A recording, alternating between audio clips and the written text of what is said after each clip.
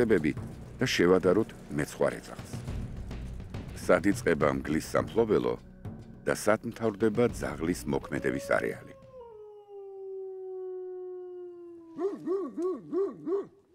კავკასიური ნაგაზი მგლის წინააღმდეგ. აღმოსავლეთ საქართველოში მგლის სოფლებში შეჭრა იშვიათი არაა. ასეთი მოვლენები სატელევიზიო ახალი ამბების თავარი თემა ხშირად ხდება.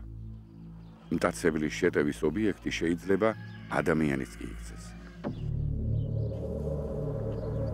რა იძულებს ამ ფრთხილ ცხოველს სოფელში ეძებოს საგბილო? ან მეცხვარეთა ბინებს დაესხას თავს? ტყეში ხომ საკვები უამრავია.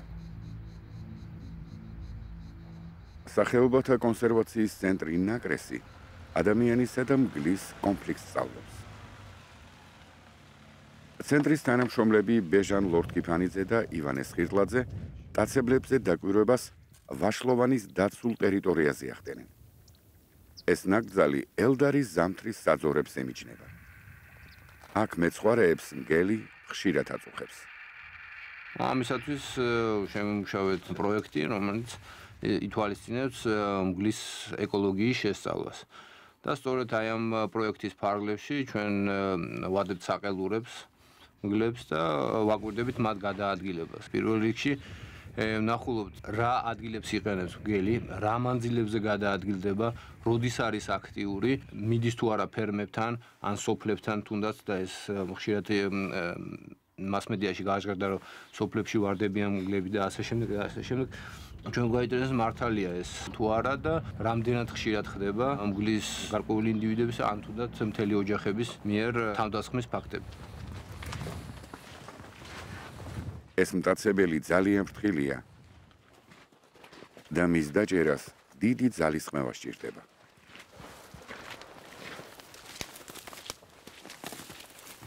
ანუ შენ იქნებ ზევითკენ გააგზელო გზა ნახურას ხოველები მოძრაობას.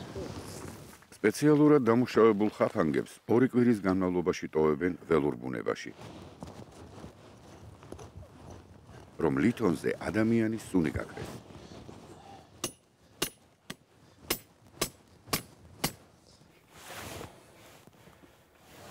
ხოლოდ ორი კვირის შემდეგ დებენ იქ სატყუარას. ახლა ჯგუფმა რამდენიმე მგელი უნდა დაიჭიროს. შემდეგ სპეციალური საყელური გაუკეთოს, რომელშიც რადიო გადამცემია დამონტაჟებული. ამ მეთოდით დააკვირდებიან ცხოველის გადაადგილებას. შეისწავლიან მგლის ცხოვრების წესს. როგორც ჩანს, საკაურობას მხოლოდ მგელი არ სტუმრობს. ასულით ჩამოსულით. ეს დათვის ნაკვალევია. ეს კიდე უფრო ძვირია. ახლა ჯგუფი ხაფანგებს ამოწმებს. რამდენიმე საათიანი სიარულის შემდეგ იმ ხაფანგთან აღმოჩნდით, რომელიც დასხლეტილია. ესე დადიოდა. აქ გამოვიდა. ხაფანგი ისია მოწყობილი, რომ ცხოველ შეუძლია ის გარკვეულ მანძილზე ათრიოს, რათა ფეხზე დაზიანება არ მიიღოს. ამიტომ ახლა რა არის გაბმული უცნობია.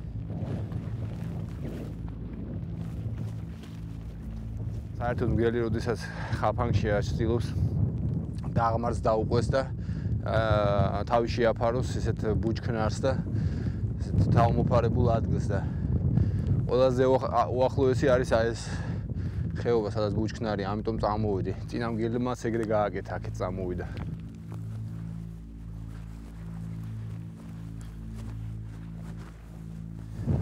ვანო აა მანქანიდან პირველი ვეხეობა ცოტა მოშორებით იქნებ შეამოწმო. კანონ მარცხნივ ალბათ იქით ხო? ხანდახან არის ხოლმე გაიტრუნება და ხმას ცდილობს არ იმოძრაოს. მაგ შემთხვევაში ძალიან ძნელია ხოლმე შემჩნევა. ზებნა დაახლოებით 1 საათი გაგრძელდა. უნდა დაუბრუნდე და თავიდან განსაზღვრო მიმართულება.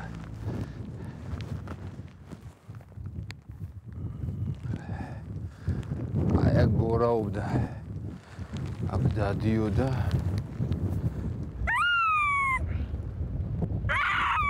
ბოლოს ხაფანგში გაბმულ ტურას მიაგნეს.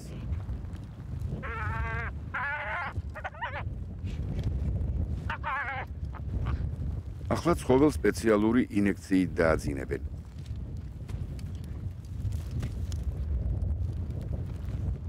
ხაფანგისაგან გაათავისუფლებენ და თუ ფეხი დაზიანებული აქვს, სპეციალურ პროცედურებს ჩაუტარებენ, რათა ბუნებაში უვნებელი დაბრუნდეს. ხო ანუ მანქანა ცოტა რომ გავახუროთ შეიძლება ჰიპოთერმია დაემართოს. როდესაც ცივი ამინდია ხოლმე და დიდი ხანი ერთი და იგივე ადგილას იბრძვის ცხოველი რა ენერგიას კარგავს და მე ვეღარ ეს ხურდება ორგანიზმი და ეცემა ტემპერატურა ძალიან მაგრა ერთ ტურაზე ეგრე მოგვივიდა და მე მანქანის ფეჩზე გავაჭვით ტურაც მტაცებელი ცხოველია. სხვარს ისიც დიდ საფრთხეს უქმნის. თუმცა დიდ მეცხვარე ძაღლთან ბრძოლისას მას შანსი თითქმის არ აქვს.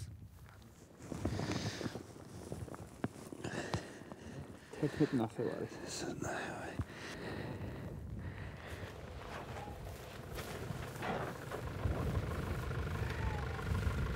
ურას ყოველთვის აკონტროლებს სად არის ბიელი.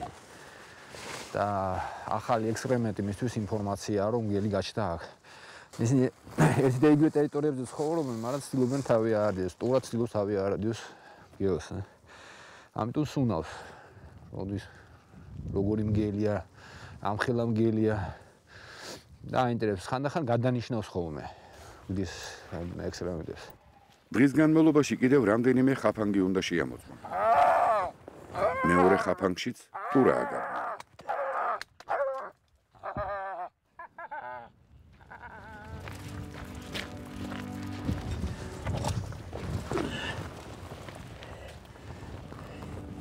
მის ფეხსაც სპეციალური დამუშავება სჭირდება.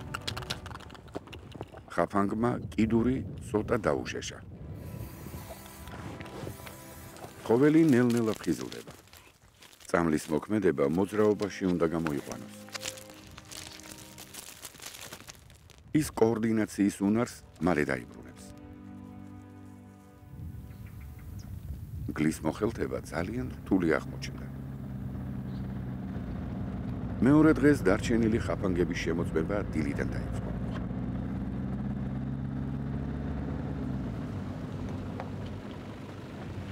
შემოწმა ხაფანგი მარცხნია. ხაფანგი ადგილზეა.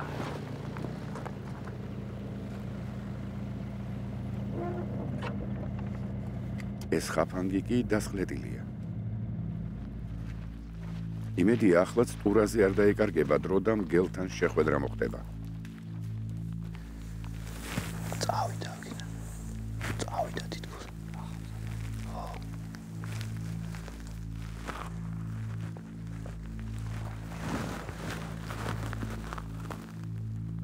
ცხოველი ბუჩქებშია დამალული და მისი მიგნება ადვილი არაა.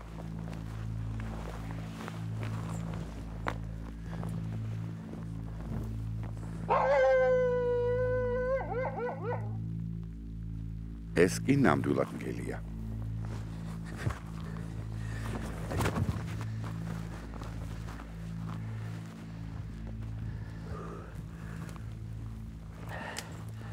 მასთან მიახლოება თითქმის წარმოუდგენელია.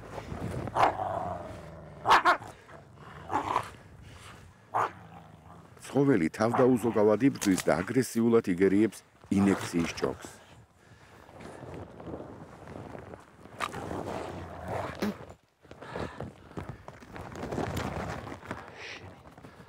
საძილე წამლის შეყვანის პირველი მცდელობა წარუმატებელი აღმოჩნდა.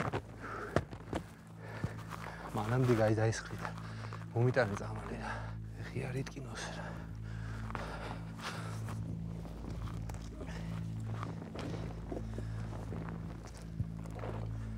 ანუ ანუ მოიტანე რა რაღაცები.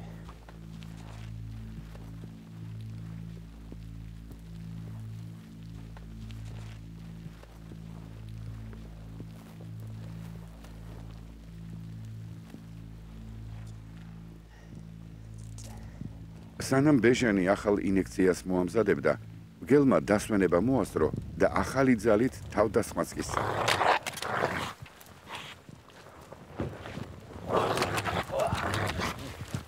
მიუხედავად იმისა, რომ ცხოველი ხაფანგშია გაბმული, მისი ბრძოლა გასაოცარი სანახავია.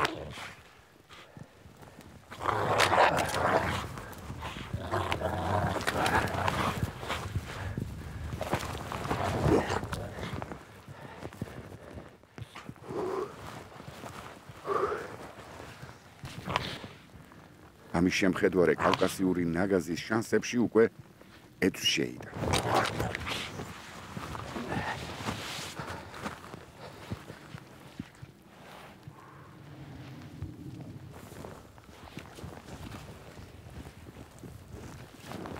ბოლოს ინექციამ მაინც თავისი გნა.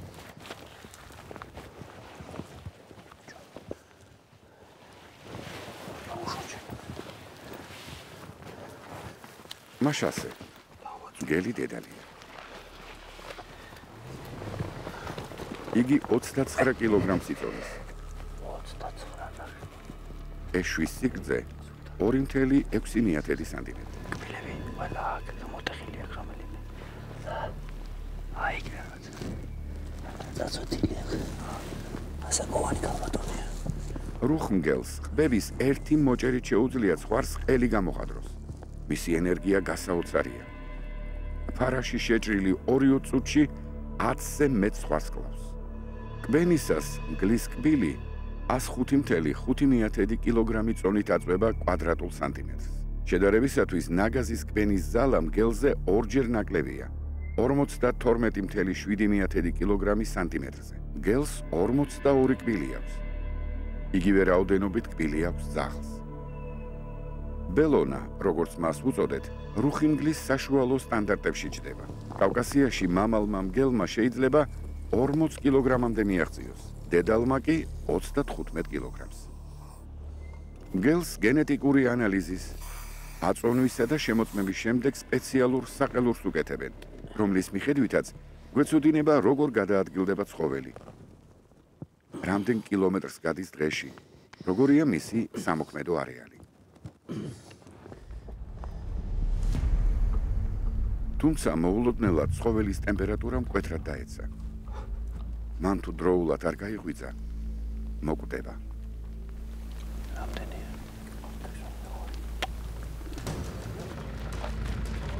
გელი მანქანაში გადავა. გაღვიძებამდე მისი სხეული ხელოვნურად უნდა გაარკვიო. როცა ამოძრავდება ეს თავის ტემპერატურას უკვე დაარეგულირებს, წამალს გამოიყენებს. ეს წამალი არ გვევს თერმორეგულაციას ხანდახან რა.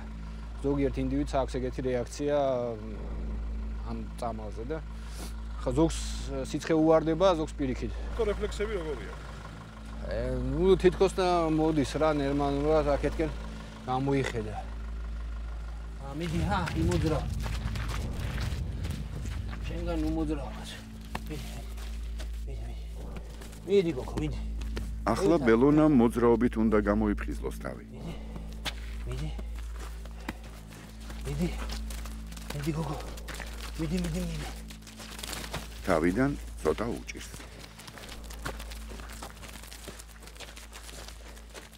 საბოლოოდ ყველაფერი მშვიდობიანად დასრულდა. ცხოველი ველურ ბუნებას დაუბრუნდა. როგორ ჩოლევთ ისე ფრიზდება ეს? ხო, აი ეცია ტემპერატურა უკვე.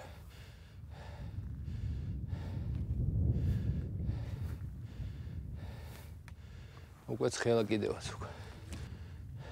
ასეთი საყელური დაკვირვებისათვის კიდევ ორ მგელს გაუკეთდება. გვიან ღამე ბაზაზე დაბრუნებულები ბელონას მოძრაობას ვაკვირდებით. მან თუ გახსოვს, მაშინ ჩვენ ჩამოსვლის წინ ნატრობდით ერთი ისეთი ინდივიდი დაგვეჭირა, რომელიც აი ამ ადგილებში მოძრაობდა და როგორ შეიძლება ეს ინდივიდიც არის?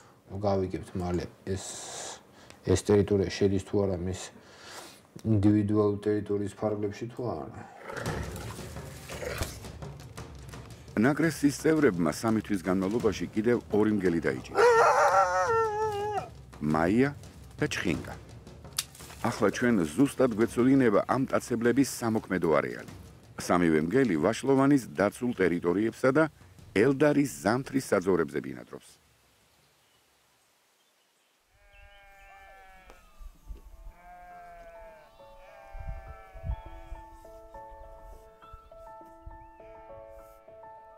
დილა ელდარის ზამთრის საძოვრებზე.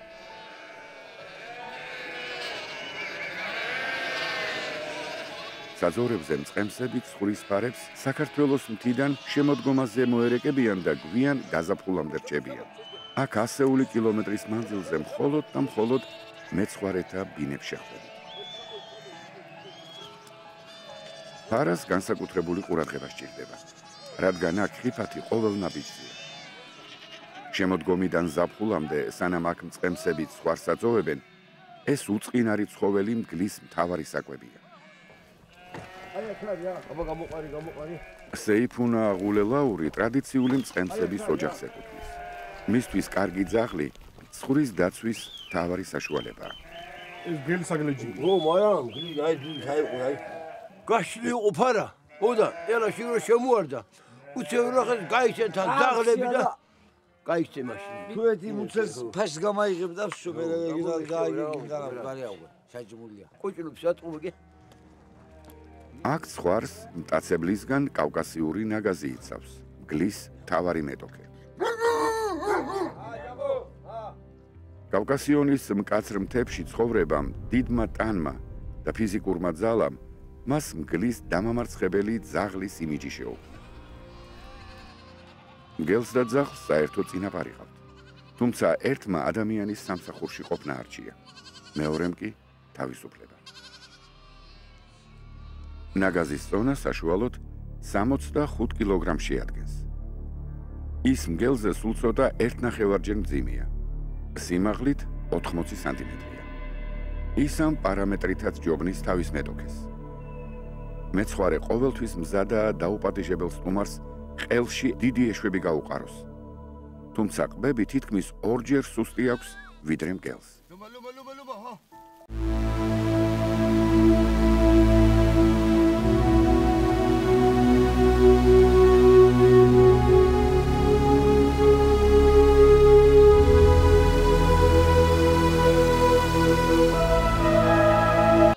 მეცხვარე ძაღლი მონაწილეობას არიღებს ცხვრის შეკრებაში, ფარის მოbrunებაში.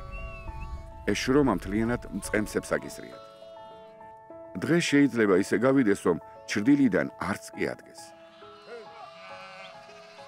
ის მხოლოდ ხიფათს რეაგირებს.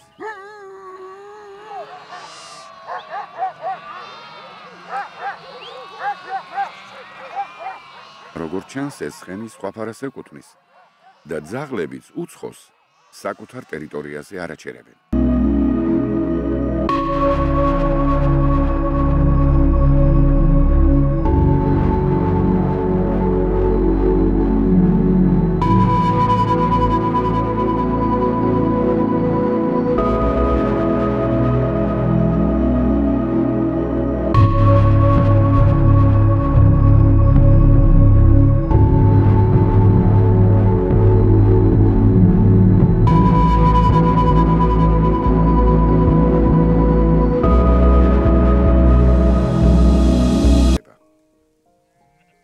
ძაღლების ყველაზე საპასუხისმგებლო დრო დგება.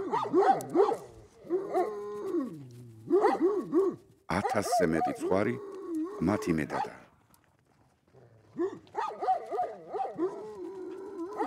ძაღლები ფარეხის გარშემო იკავებენ პოზიციებს.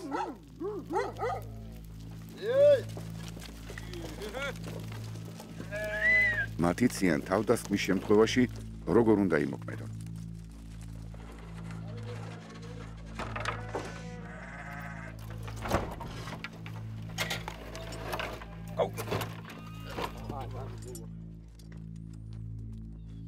ყელზე ჩანგლებიც იმიტომ უნდა გაუკეთონ, რომ გელთან შებრძოლების შემთხვევაში მოწინააღმდეგე ყელში არ სწუდეს.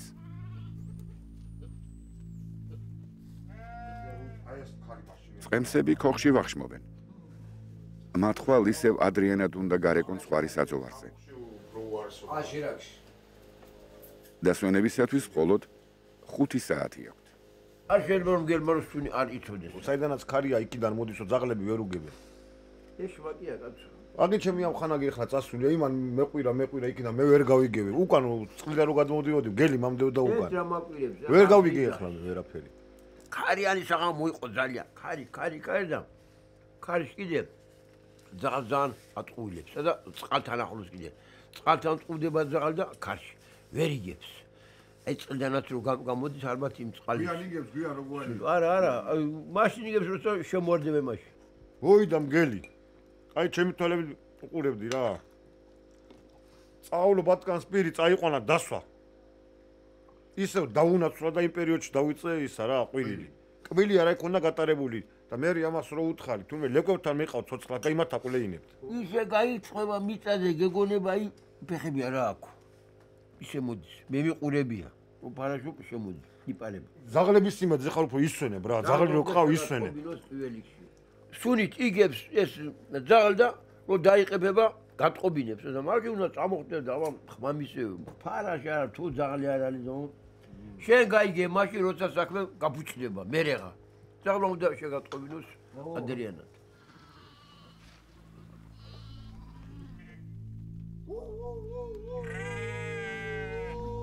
ღამე ზაღლებმა საფრთხე იქნეს.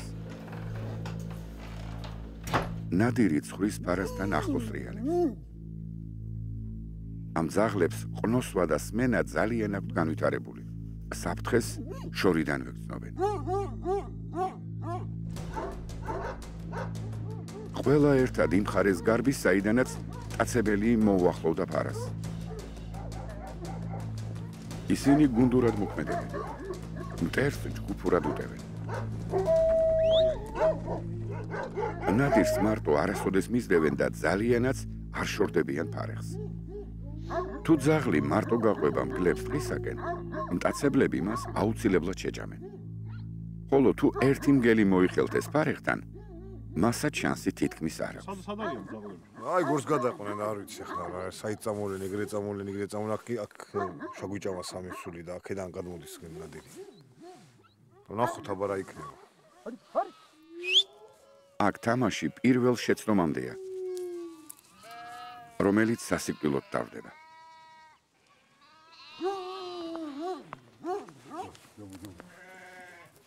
ამჟამად ბინაზე ყველა დაბრუნდა. საშიშროებამ გადაიარა. დილამდე ყველა ფხიზლად აგზელებს დარაჯს.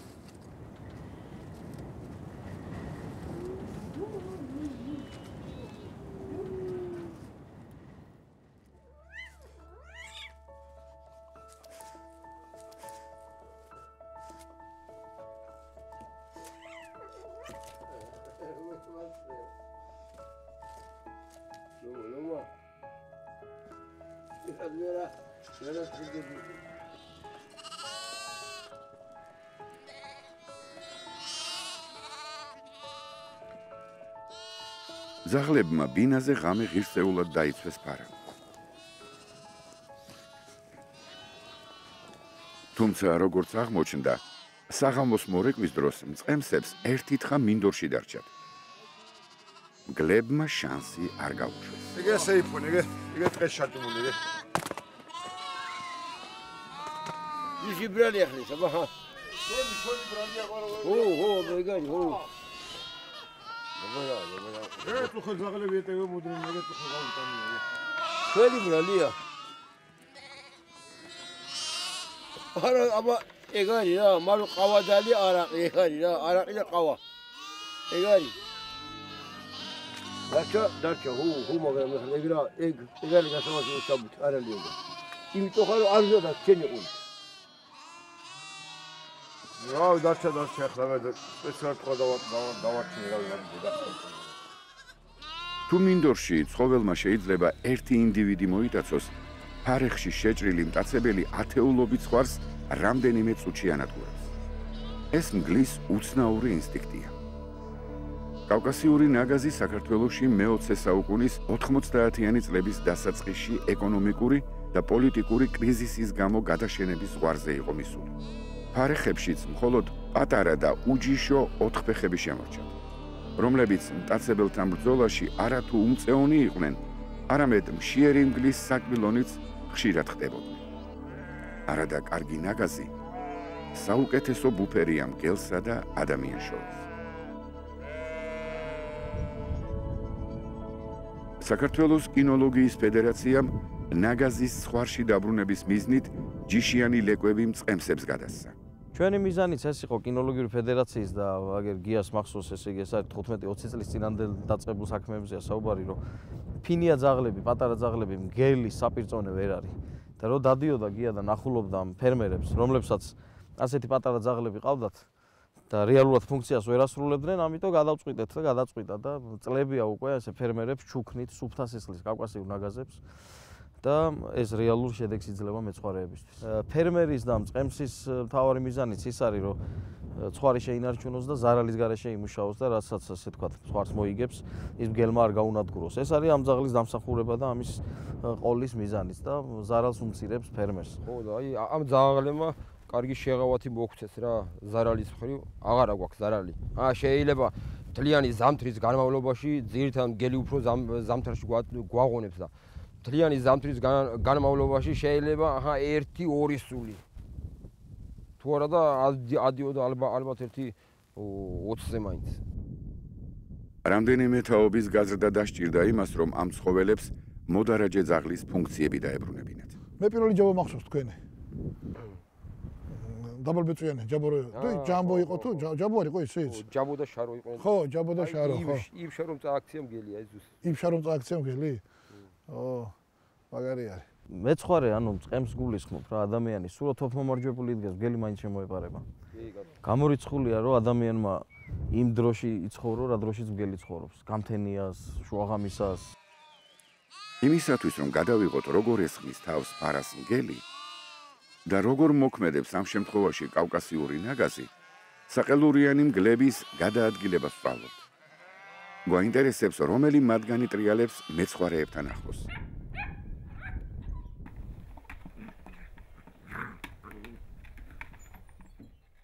რადიო სიგნალის დახმარებით შევეცდებით მაქსიმალურად მიუახლოვდეთ და გავყვეთ მათყვალს.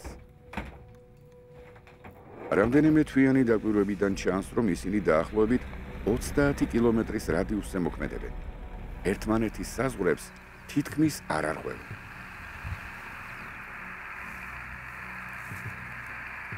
ჯერჯერობით სიგნალს ვერ ვიჭერთ. გადასული ერთი ვარიანტია ამ ქედების იქით არის და სიგნალი ვეღარ აღწევს ჩვენამდე. ეს ერთი ვარიანტი, მეორე ვარიანტი გადასულია უფრო ჭაჭუნისკენ ან ეშმაკის ხევისკენ.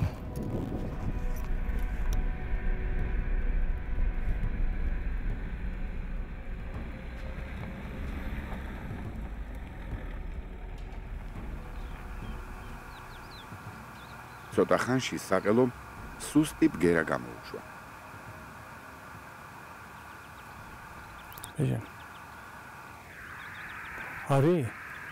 მე აქ გავიგონე და რაღაცა რაღაცა სამი მიყვა თანმიმდევრობით. დაცული შუალედებით. აი. აი, ხოგენე. ი ჩაბუდებული ესადღაც. ამჟამად მხოლოდ ბელონა იძლევა სიგნალს და მის მოსაძებნად მივდივართ.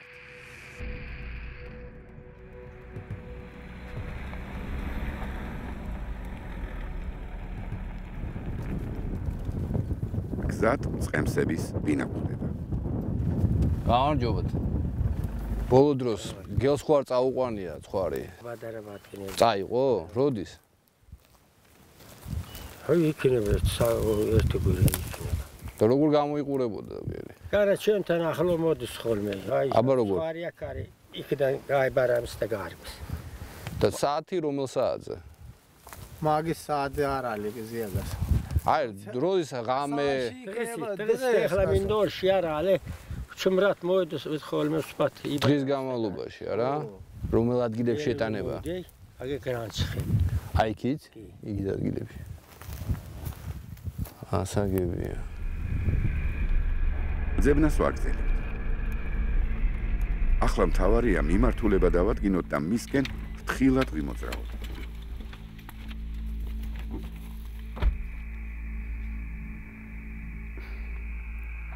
საღამოს სიგნალი გაძლიერდა. მტაცებელი ცხრის ფარას მოყვება.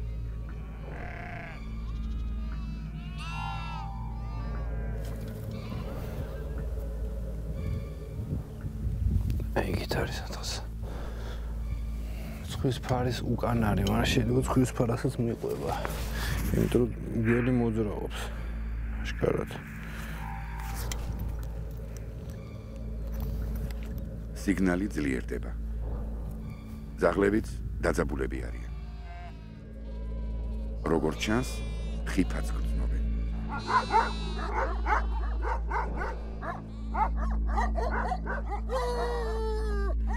სადღაც აი ამ ძეძვებში ზის ხოლმე. მაგრამ ამის დანახვა ძალიან ძნელია, იმიტომ რომ იმდენად შეხამებულია გარემოს. თუ არ გაინძრა, მისი დანახვა პრაქტიკულად შეუძლებელია. კამერის არეალში მოულოდნელად გელი ხდება. ის ძალიან შორსაა და აღბეჭდა ჭირს. რამდენიმე წამში ის უჩინარდება.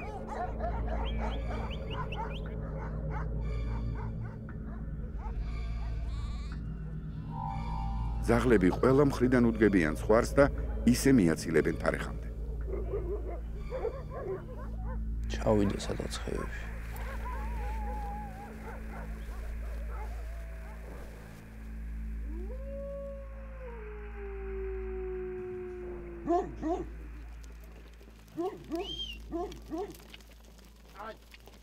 ცხვარმა მშვიდობიანად მიაღწია ფარეხს.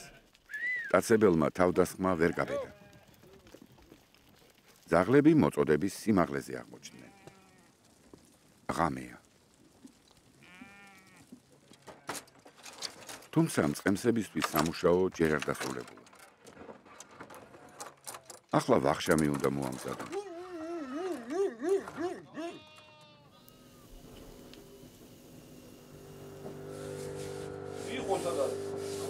ნაუჭიანს ვინ ვინ გააკეთებს 19 ნაუჭიანს დღეს ტრადიციული ქართული კერძი ხინკალი უნდა მოახვიო დაღლები ზოგი იქ წავა ზოგი აქ აბარავის იმიტომ რომ აბა იქაც ფარები აქაც ფარა რჩება.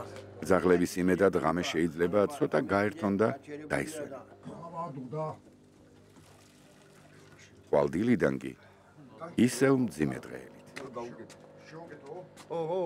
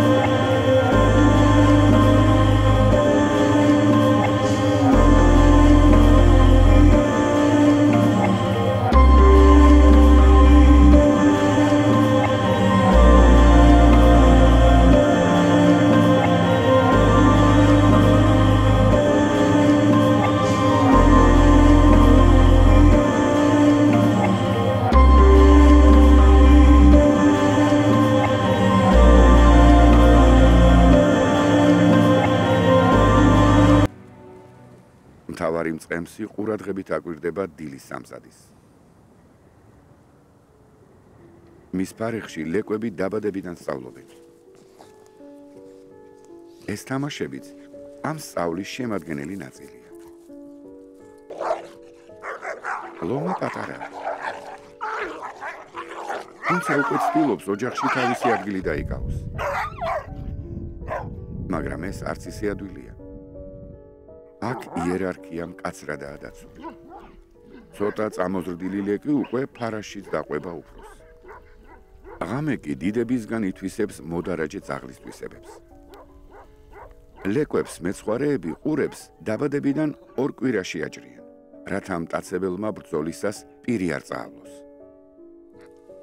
ლიდერი ლაზარია, რომელიც ტანით ყველაზე დიდია და ღონეც მეტი აქვს. როდესაც ოჯახში ყველამ თავისი ადგილი იცის, ჩხუბიც იშვიათია.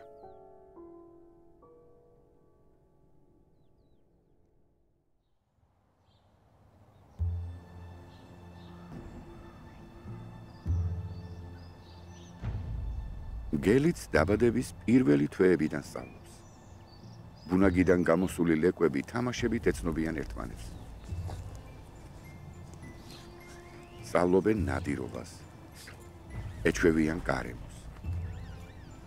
ჩვენ გლის უკეთ გაცნობისათვის კიდევ ერთ საშუალებას მივმართავ. პროფესორი ზურაბ გურიელიძე 20 წელზე მეტია ამ კაცებლის ხასიათს სწავლობს. ჩვენ მასთან ერთად თბილისის ზოოპარკში ახლად დაბადებულ ლეკვებზე დაკვირვებას ვიწყებთ. დაკვირვება 1 წელი გაგრძელდება. პატარები ბუნაკს თითქმის არ შორდებიან. ისინი ახლა ძალიან შიშრები და უსუსურები არიან. ამიტომ ძალზე ფრთხილობენ. ოდნავ გაფაჩუნებაზეც კი მხისიერად რეაგირებენ. ხედველობა მგელს სუსტი აქვს. სამაგიერო ძალიან განვითარებული აქვს სმენა და ყნოსვა. ხიფათის დროს ცდილობენ შეუმჩნეველნი დარჩნენ. ერთად შეიყუჟონ ან დაიმალონ.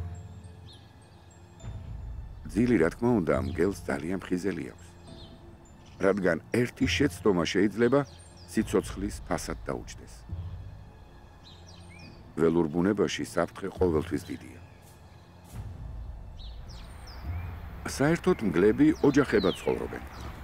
ხროვაში ერთიანდება 5-დან 8 სულამდე. იშვიათ შემთხვევაში მარტოხელებიც არიან.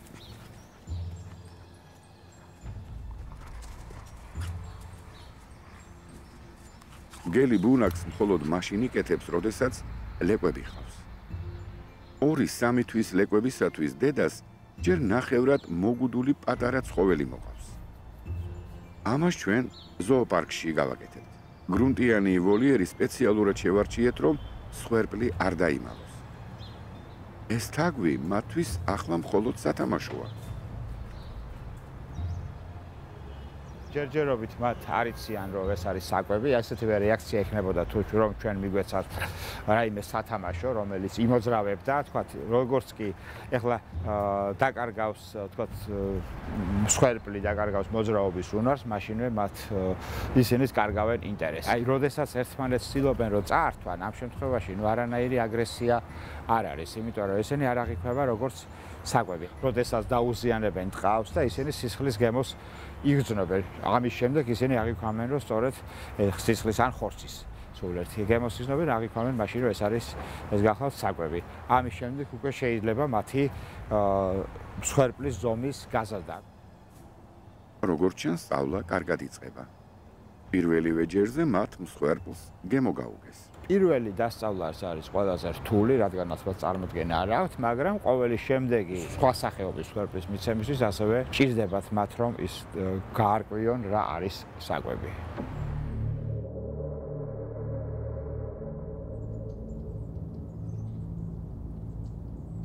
შემდეგი ემოცენა უფრო რთულია.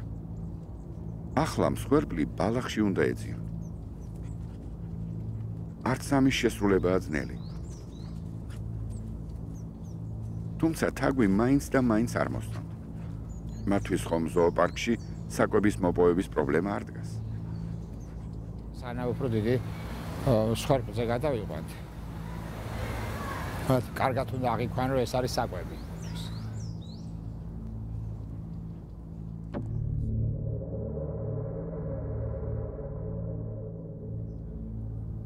ლეკვებს უკვე ვირთხას ვაძლევთ. პირველად ვირთხაზეც ისეთივე რეაქცია აქვს, როგორიც წრუწუნებზე ჰქონდათ. ჯერ უნდა შეისწავლონ რასთან აქვს საქმე. ეხლა ამას აქში, როდესაც ესენი არიან დაახლოებით გამოდიან 7 თვის, უკვე მშობლებთან ერთად იწყებენ ნადირობას. ძირითადად გელი არის ცხოველი, რომელიც ნადირობს ჯგუფურად, თუმცა იმ შეშუათ შემთხვევაში შეიძლება დამოუკიდებლად მარტო წინადიროს პატარა ზომის ცხოველებზე. ნუ დიდი ზომის ცხოველის მოპოვებისათვის აუცილებელი არის ჯგუფური ნადირობა. ოჯახი შედგება როგორც წესი მშობლებისაგან, ერთი წლის ლეკვებისაგან და წლევანდელი ლეკვებისაგან.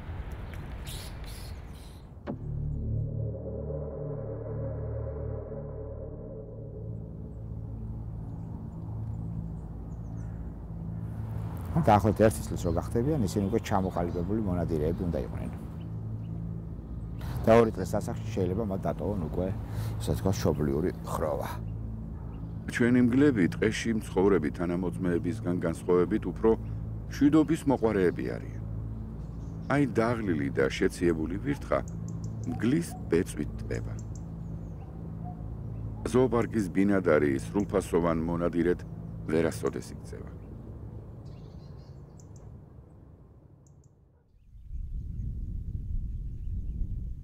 საინტერესოა როგორ ესხმის თავს მსხვერპლს ველურ ბუნებაში მკელი.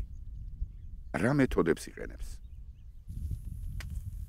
ამის შესასწავლად სახეობათა კონსერვაციის ცენტრის სპეციალურ ადგილს ამზადებს. ჯერ კარავია აგეს. ამას შემდეგ რაც ცხოველები მიეჩვევიან ახალ გამაღიზიანებელს, სატყუარას დადებენ. ამას ორკვირიანი ლოდინი სჭირდება. სატყუარას ვდებთ და ირგვლივ ვიდეო ხაფანგებს ვამაგრებ. სითფური კვეთა მოხდება აი ამ სენსორზე. ჩაერთვება წითელი სხივი. ანუ ამით გაასწორებ მიმართულებას.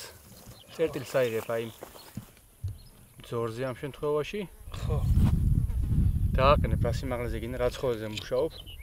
ხო. დაახლოებით იმის სიმაღლეზე და მე უკვე ჩართავ მუშა რეჟიმს.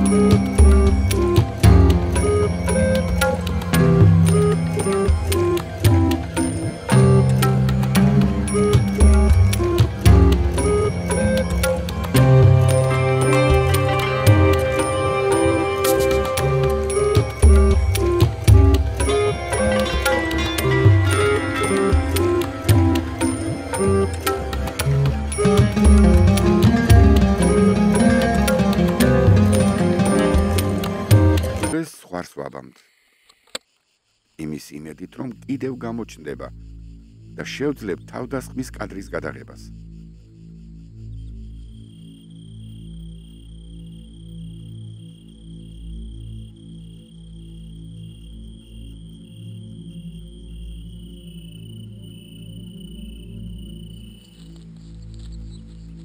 თუმცა ამ შემთხვევაში ცხვარს უფრო გაუმართლა. კიდევ ერთ კვირიანი ლოდინი უშედეგოდ დასრულდა. ერთი თვის შემდეგ ჩვენ კიდევ წადეთ მგლების გადაღება. თუმცა ვიდეო ხაფანგებმა მხოლოდ კაჭკაჭების რამდენიმე კადრი აღბეჭდეს. სვავები და ორბებიც კი აღარ გამოჩნდნენ.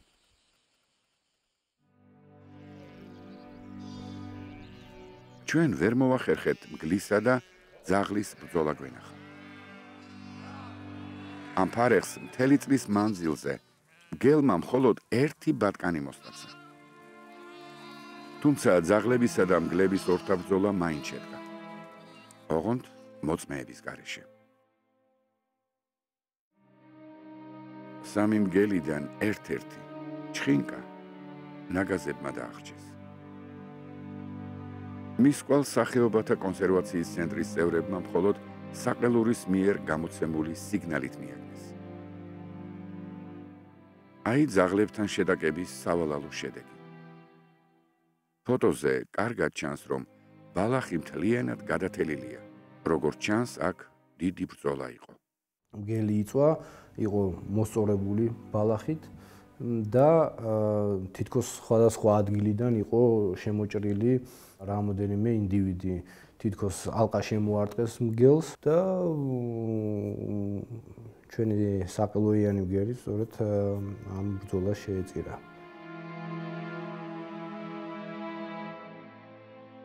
აბა ხალხო სამთარი გავიდა გადა ხული მოვიდა. რავაჯე აი ყარე აი ყარე კეთილა რა მეზამთროს ეს ეს ეს მაგალითად არ გვენანება ამ ზამთრინელი დანამტრება კარგად იყო აღარა და რა მეტად კი გონანოს მიჭიდე და გავორდი მიჭიდე საი ფუძე სადი მდებარეობა საი დავორდი დავორდი